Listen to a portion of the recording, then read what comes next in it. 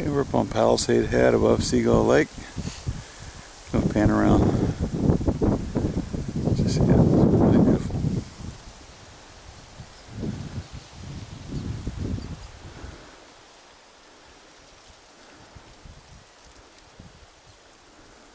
A windy morning.